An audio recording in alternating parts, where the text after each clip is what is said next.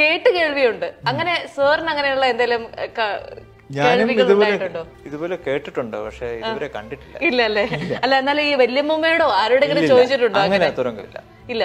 പത്മനാഭപുരം കൊട്ടാരത്തിൽ നിന്ന് പത്മനാഭസ്വാമി ക്ഷേത്രം വരെ തുരങ്കമുണ്ട്. ഉണ്ട്. അതിപ്പോഴും അവിടെ പോകുമ്പോ തക്കലല്ലേ പണ്ട് ഈ ഭൂമിയുടെ അടി കൂടെ പോകാനുള്ള വഴി. ഇപ്പോഴും അവിടെ ഒരു പോർഷൻ അവർ ബ്ലോക്ക് ചെയ്ത് വെച്ചിട്ടുണ്ട്. അത് പക്ഷെ ഇവിടെ എവിടെ വന്ന് കേറുന്നു ഇപ്പൊ ആർക്കും അറിയില്ല. അറിയില്ല. അല്ല ഇങ്ങനെയൊക്കെയുള്ള കാര്യങ്ങളൊക്കെ അമ്മയോടോ അമ്മൂമ്മയോടോ ഒക്കെ എപ്പോഴും കൊട്ടാരത്തിലില്ല. കൊട്ടാരത്തിലില്ല അല്ലെ?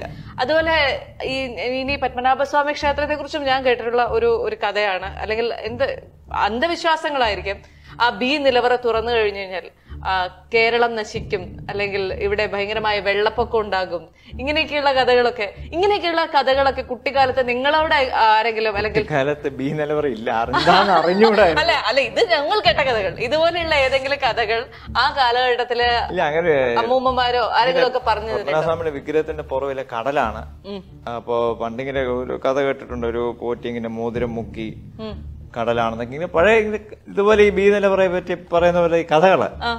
പിന്നെയാണ് മനസ്സിലാക്കിയത് പുറകെ കടലൊന്നും അല്ല എന്നുള്ളത്. സാധാരണ ഭിത്തി തന്നെയാണ്. അതെന്തായിരുന്നു ആ കഥ ഒന്ന് പറയൂ? അതായത് പുറകിൽ കടലാണ് കടലാണ്.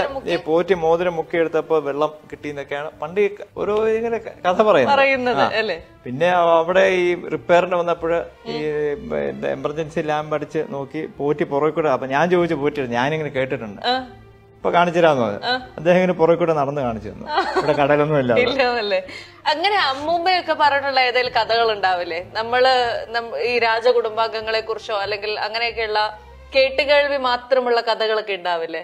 പഴയ ഈ ഹിസ്റ്ററിയുടെ കഥകളൊക്കെ പറഞ്ഞിട്ടുണ്ട്. ഇപ്പൊ ഈ കുളച്ചൽ യുദ്ധത്തിന്റെ കാര്യവും അങ്ങനത്തെ അല്ലാതെ ഈ രഹസ്യ കഥകളൊന്നും ആരും പറഞ്ഞു കേട്ടിട്ടില്ല.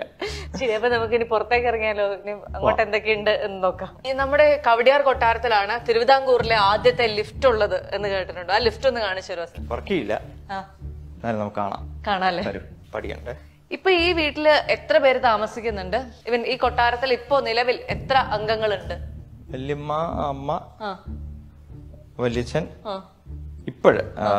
ഞാൻ വൈഫ് രണ്ട് കുട്ടികൾ ഇത്രയും പേരാണ് ഉള്ളത്. നമ്മൾ പണ്ട് കുട്ടികളായിരിക്കും പറയില്ലേ ഇത്രയും വലിയ വീട്ടിൽ ഇത്രയും കുറച്ച് ആൾക്കാരായിട്ടിരിക്കുമ്പോഴത്തേക്കും രാത്രിയൊക്കെ തന്നെ ഇരിക്കാൻ പേടിയാവുമെന്ന് രാത്രിയിൽ തന്നെ അല്ലല്ലോ ഞങ്ങൾ എല്ലാവരും ഒന്നിച്ചായിരിക്കും ഒന്നിച്ചിരിക്കാറുള്ളല്ലേ ഏ പല പല മുറികളിലേക്ക് പോകാറില്ലല്ലേ?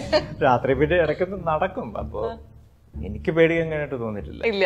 കുട്ടികൾക്കും അങ്ങനെയുള്ള പ്രശ്നങ്ങളൊന്നും ഇല്ല കുട്ടികൾക്ക് ചില സമയത്ത് ഈ ചിലപ്പോ കാറ്റിന്റെ സൗണ്ട് ഒക്കെ കേൾക്കും. ഈ പഴയ തടിയല്ല അപ്പൊ അതിങ്ങനെ ടിക് ടിക് ടിക് സൗണ്ട് ഒക്കെ ഇങ്ങനെ കേൾക്കുമ്പോ പേടി വരണമെങ്കിൽ പേടി വരാം. ഏതായാലും അവരിതുവരെ പറഞ്ഞിട്ടില്ല അല്ലെ? പിന്നെ അത് നമ്മുടെ ഇമാജിനേഷനല്ലേ നമ്മുടെ ഇമാജിനേഷനെ കൊണ്ട് ഇമേജസ് ക്രിയേറ്റ് ചെയ്യാം. അങ്ങനെയൊക്കെ പല ചില ആൾക്കാരൊക്കെ പറഞ്ഞിട്ടുണ്ട് രാത്രിയിൽ.